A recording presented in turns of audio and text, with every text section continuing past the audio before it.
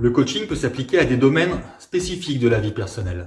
Mais nous parlons ici, dans le cadre de cette capsule vidéo, de coaching en lien avec l'activité strictement professionnelle. Les besoins de développement d'une personne exerçant des responsabilités professionnelles sont par nature illimités.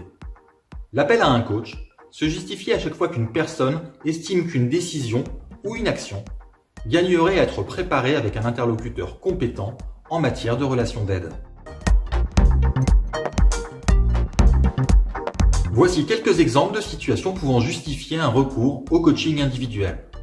La prise d'un nouveau poste, la recherche d'un meilleur équilibre vie professionnelle, vie privée, une réflexion sur ses objectifs, la gestion du stress ou la gestion du temps, l'amélioration de ses capacités de communication, ou encore le développement de son leadership.